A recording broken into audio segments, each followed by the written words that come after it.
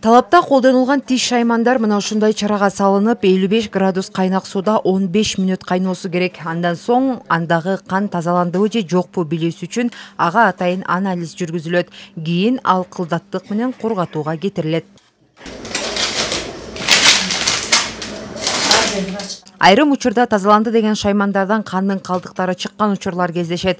Андай шартта стерилизация иштери кайрадан башынан башталат.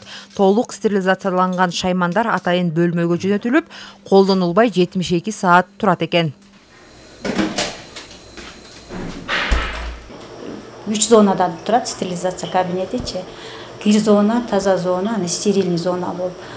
Бул кир зонада ошо предстерилизационный очистканы беш этап өтөт жерден ошо кабинеттерден келген э, колдонулган инструменттерди кабыл алабыз.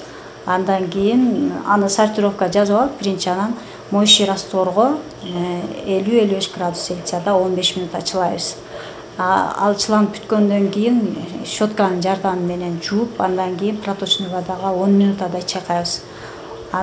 Проточный водадан чайкагандан кийин биздин дистиллятор диз водага отуз секундда чайкалат. Андан кийин сухожаровый шкафка э, отуз минутага чейин сексен беш градуста кургатылат да эме нымы толук кургага чыкты нара шаарында мамлекеттик делинген бир гана тиш дарылоо бөлүмү бар. Бул жай күнүнө жүзгө чукул адамдарга кызмат кылат.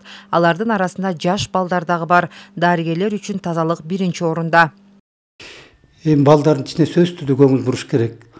Балдарды тиши ооруса сөзсүз түрдө бизде эми алты айда бирден тиш доктурга келип каралып туруш керек стоматологиячы тиши ооруса оорубаса дагы э, келип туруш керек.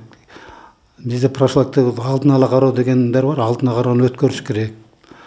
Жаңыдан түшүп калган кариестиктин жогорукулары болсо ошол самат тазалап э, анын баягы өөрчүп кетиши жеткирбей кариестин өөрчүп кетиши андан ары жумшак этке өтөт тиштин тамырын өтөт сескениши анан шишикке өтөт ошондон улам балдардын тишине көбүрөөк көңүл өткөн жылдын сентябрь айында кепилдиктер программасынын алкагында жаңы токтом чыккан. Анда он жашка чейинки жаш балдар жетимиш жаштан жогорукулар жана калктын айырылуу катмарындагылар бекер дарылана алышат.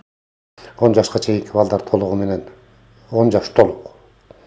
Балдар толугу менен бекер стоматологиялык жардамдарды алышат андан кийин жетимиш жаштан өйдөгүлөр дагы ошондой эле толук. Толугу менен бекер стоматологиялык жардамдар. Анын ичинде жанагындай дарыгерлердин учетунда турган кош бойлуулар андан сырткары шашылыш стоматологиялык жардамдар көрсөтүлгөн.